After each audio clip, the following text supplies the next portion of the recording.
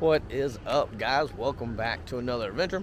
Today we're back at Dollywood. We are here the day before, well, two days technically, but they're closed tomorrow, but the day before flower and food. So we're just gonna kind of pop around the park, maybe get a little early preview on some of the food items, some of the topiaries, things like that. It looks like it's gonna be a pretty low crowded day as well. Weather's fantastic, so we're gonna go jump on some rides, walk around the park, maybe grab some food, who knows. But ready? Let's go. As we're coming in the park, I looked over to the left. They're coming from the preferred parking, and there is a big line of people. Maybe there's some school groups at the park today. Who knows?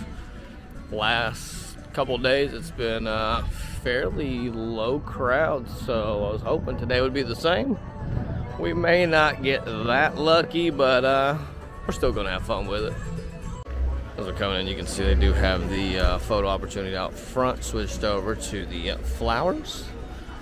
But you can see the sign inside from here has nothing on it. So, not quite set up yet for flower and food fully. Well, coming down Show Street, they do have the umbrellas out and opened up already. And these do change throughout the uh, different seasons.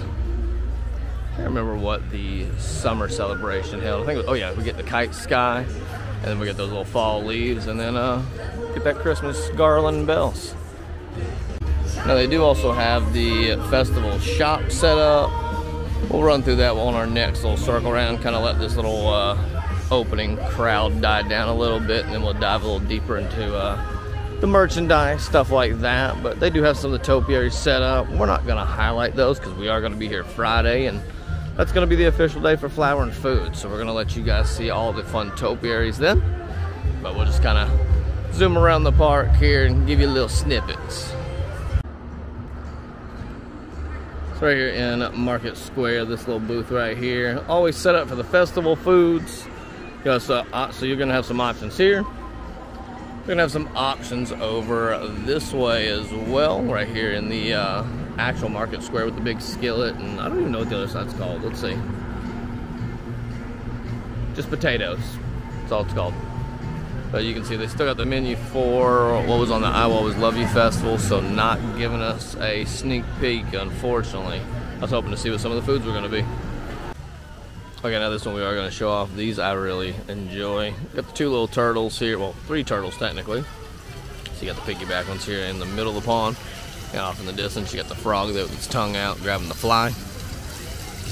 Got some little duck swimming its way to the frog. So as we're working our way up into Craftsman Valley, you can hear them working on Miss Lillian's here. Hopefully that'll be opened up soon. Doesn't look like they're really doing much, just kind of renovating it up, sprucing it up. Don't know if the menu or anything's going to be changed at all, but uh, hopefully soon we'll get to find out. Oh, got the little duck topiary out right there in front of the grist mill. And the grist mill is actually not busy at all over there. The line's pretty low, about four or five people. So another thing I just noticed, walking up by the Valley Theater, they've got these black curtains up.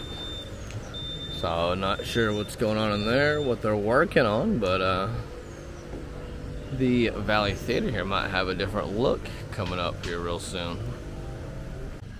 Now they've also got banners up for the summer celebration. A little preemptive, I think, since the flower and food hasn't started quite yet.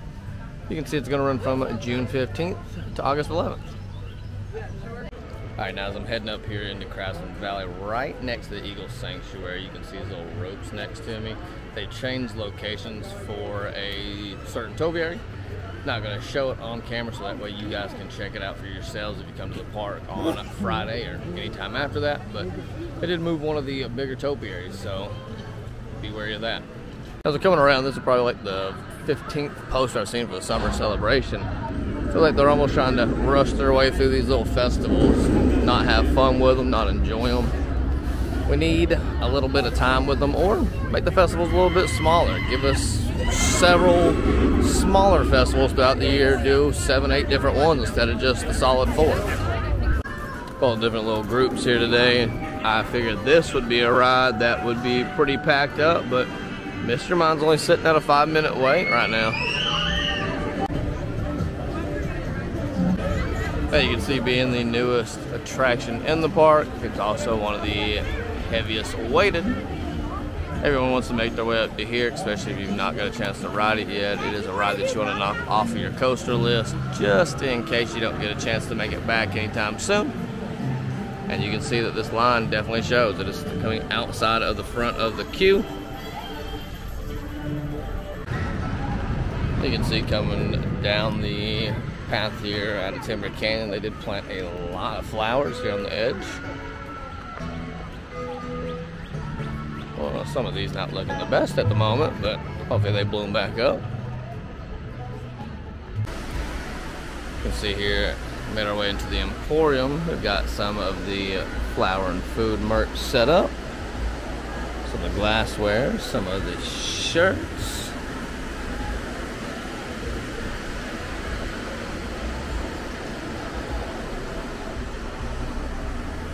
Alright guys, so with that, we are done. Real short and sweet. Just wanted to make a pop into the park, take a little lap around, see if I can get a little preview of some of the flower and food stuff that is to come.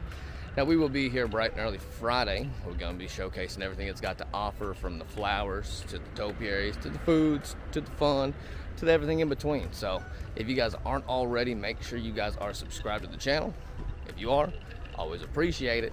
Make sure you guys are hitting that little thumbs up and we'll see you on the next one. Peace.